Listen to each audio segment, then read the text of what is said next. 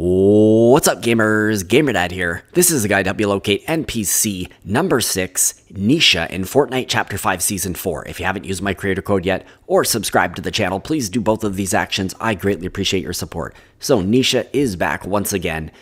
In this season, you can find her at this railway, railway station. It is called Snooty Station. It is located north of Sandy Steps.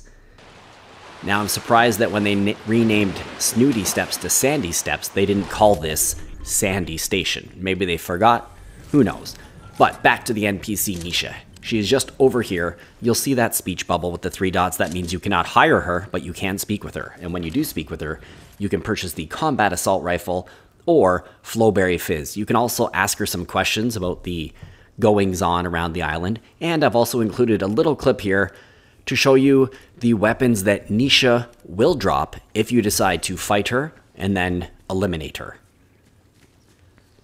I do hope that this guide is helpful for you. Please drop a like, leave me a comment, and if you haven't already subscribed to the channel or used my creator code in your Fortnite item shop, please do so. I greatly appreciate the support. Have a great day until the next video. This is GamerDad out.